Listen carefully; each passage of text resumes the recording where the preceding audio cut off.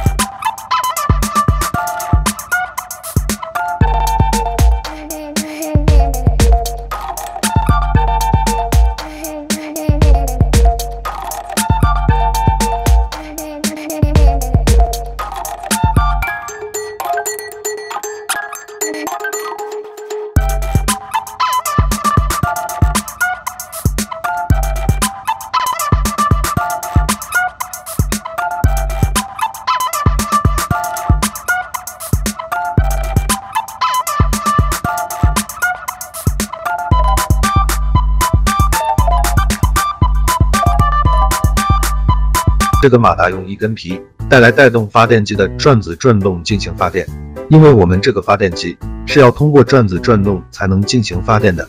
看到这里，可能有的朋友会说，这个马达也是需要通过电池的电来转动的，不太实用。但是我们这里用这个马达，主要是方便给大家进行一个演示。实际发电的时候，我们只要想办法令这个电机的转子产生转动，就可以发电了。比如说人力发电，或者给它装上一些扇叶。然后利用风力来发电等，我之前也是有发过一些风力发电机的视频，感兴趣的朋友可以点我头像到我的其他视频看一下。到这里，这个发电机也就全部制作完成了。我们现在来测试一下它的发电效果怎么样吧。找来一个灯泡试试，可以看到通上电源之后，也是马上就点亮。这样一款发电机是比较小巧的，制作也是比较简单，带动一些家用的小家电，基本没什么问题。就是不知道一个月能节约下来多少电费。本期视频到这里也就结束了。如果大家对这类手工改装比较感兴趣的话，可以给小编点点关注。我们下期再。